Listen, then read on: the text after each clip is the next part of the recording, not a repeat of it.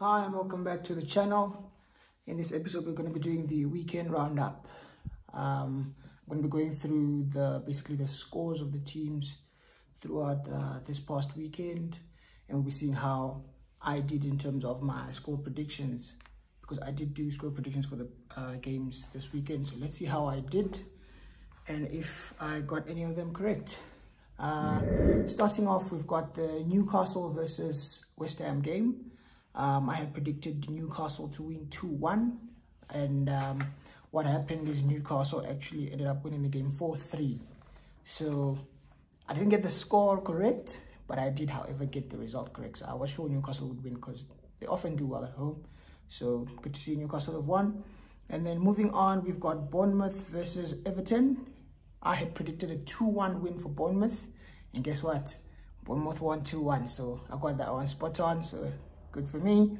Moving on, we've got Chelsea versus Burnley. I was sure Chelsea will beat uh, what you call Burnley. Like, these guys are a disgrace, man. Chelsea Football Club. You guys are an absolute disgrace. I know Man United aren't doing so well right now, but to fail to beat Burnley at home. And if I didn't watch the game, but apparently Chelsea were 2-0 up with a few minutes to go and Burnley had a red card and yet Burnley was still able to score two goals. Nah, Poch, they might need to sack Pochettino come the end of the season. Like, it's not looking good at all because they drew 2-2 against 10-man Burnley at Stamford Bridge. And then the next game was um, Nottingham Forest versus Crystal Palace. I predicted a 1-1 draw. And yet again, I was spot on. I got the results correct as well as the score. As the game ended 1-1 draw. And then moving it on, we've got uh, Sheffield United versus Fulham. I predicted a 3-0 win for Fulham. Uh, the game ended up as a 3-3 thriller. So I didn't get that one correct, unfortunately. But uh, yeah, I mean, it happens. Anyways, moving on, we've got Tottenham versus Luton. I predicted a 4-1 win for Spurs. But what actually happened is Spurs only won 2-1. So I got the score wrong, but I got the, the result correct. So that's good. Anyways, moving on, we've got Aston Villa versus Wolves. I got this one totally, totally wrong. I thought Wolves were coming into this game with a bit of momentum, good form. I thought they beat uh, Villa. Even though Villa have got a uh, good record at home, I knew that, but I just thought Wolves might just do well in this game. But unfortunately, uh, Villa won 2-0, which doesn't help Man United in terms of the, the, the fight for top five. Uh, speaking of Man United, they were also another team which was absolutely disgraceful this weekend. Erik Ten Hag needs to be sacked. He needs to be sacked. We cannot continue with this guy. He's a fraud. And he just, uh, like, the, the football we play is an absolute embarrassment. Like, the players we've got, I know we don't have the best of players, but surely the players we have are good enough to be playing better than they're currently playing right now. I mean, Ten Hag is just, for me, is just failing to get the best out of them. But anyways, Manchester United drew 1-1 after I predicted they would beat Brentford 2-1. Uh, we drew 1-1. Even the goal we got in the last minute goal from Mason Mount in the 96th minute, I was happy for the boy, but unfortunately United did what they do best and they just capitulated. So that meant that we didn't get the that meant that we didn't get the three points. Um, however, uh, yeah, for me, the top the, the, the, top four or top five, top four is definitely gone. Like I had already said before the game, but uh, maybe top five. I'm not sure, but that's not looking promising at all. But anyways, we're gonna keep it moving to the games on Sunday. We had Liverpool versus Brighton. Um, and in this game, I predicted Liverpool to win 4-1. I thought they'd smash uh, Brighton, but uh, they only won by two goals to one. So again, I got the the score wrong, but the, I got the result correct. So in terms of the last game, which was meant to be the game in which Super Sunday was based on, Manchester City versus Arsenal at the Etihad, it ended nil-nil. How this game ended nil-nil, I mean, this this was a snooze fest. honestly, I thought City would lose the game. I, I went into that game confident that Arsenal would not lose the game. Come what may. I mean, in the original weekend preview that I did, I predicted a 2-2 draw, but then I just felt Arsenal would win. They'd have too much for Man City. And in the end, they drew nil-nil. But then what did happen was, uh, the following day when I did the, the Man City versus Arsenal preview, um, well, I did the combined 11 and I actually gave my thoughts I think towards the end of the video. I said, I'm changing my score prediction. I think Arsenal would win the game 2-1. Unfortunately, they drew nil-nil. So that means that Liverpool were back on top, which is so flippin' annoying because no one wants to see Liverpool win this league, let's be honest. Apart from Liverpool fans, of course.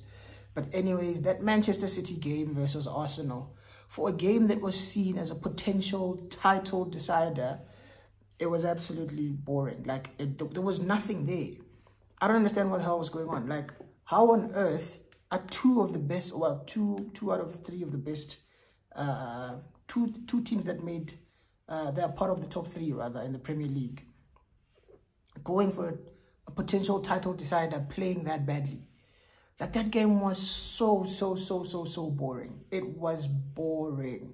Like genuinely, I was expecting expecting blood, blood and thunder. But no, what we got was a team that just went there. Arsenal, Arteta. Look, don't get me wrong. This season they've taken four points from Man City, which is an impressive feat on its own. But the fact that going into this game, I just had the feeling City and not be they've not been the same City that we know this this season. They've not. They've been shaky. They haven't looked as dominant as they usually are. And if ever there's a chance, it was now. I thought if Arsenal won that game yesterday, I would have actually started to think, you know what? The momentum is going to carry Arsenal to the league title. But now that they've drawn Liverpool and, and now Liverpool are back on top, you look at Liverpool's fixtures between Liverpool, Arsenal and City, Liverpool definitely have the easier fixtures, which means there's a higher chance of Liverpool winning all their games until uh, uh, uh, the, the, season comes to an end, basically. Um, they might not win all of them, but I, I can see Liverpool winning more games that are remaining than City and Arsenal because I know those guys still have, they've got difficult fixtures. City, I still have, is it Spurs? I don't know, but they, they still got, basically City's games are more challenging. City and Arsenal's games are more challenging than the Liverpool ones. So Unfortunately, I think Liverpool might just win the league title. I've been saying that I feel like they're going to win it for Klopp. It's his, it's his last season. And it's looking like it. Yesterday's draw just, for me, it told me I don't, Arsenal are not ready to win the Premier League title and neither are Man City. Well, City have been winning. What am I saying? They're not ready. But they're not, I don't think they're going to win it this season. They might do the back-to-back -back with the Champions League, but not with the Premier League. But um, yeah, I mean, the game was disappointing yesterday. We, we were expecting much, much better, but what we got, it was just nonsense, honestly. Way below par. The big game players, Erling Haaland, yet another big game that is ghosted, by the way. This guy has been poor this season when it comes to the big games, against the big six. Of course, he always scores against United because United are rubbish. But against Chelsea, he was non-existent. Against Liverpool, like the, the, big games against Arsenal, the Emirates, again at, at the Etihad as well, non-existent. I know this guy is, is, is a phenom. He can score goals. He's a machine. He's a robot, cyborg, whatever you want to call him. But this guy is six foot four or six foot five, if I'm not mistaken. He's strong. He's quick. Where's the hold up play from him? A player like Didier Drogba used to use his physique so well. Hold the play up, bring the wingers and the, the other players of the team uh, into the game. Haaland doesn't do that. All he wants is just, just score goals, like tap in or whatever, just finish. But He's not, I don't see him interchanging and play with other City players, bringing uh, uh, uh, um, other players into the game. All he does, he just wants to score. But yesterday, Saliba and Flippin, what's his name, Gabriel, they locked him up. He was non-existent the whole game. Phil Foden, Bukayo Saka, the two star boys. Nothing from them yesterday.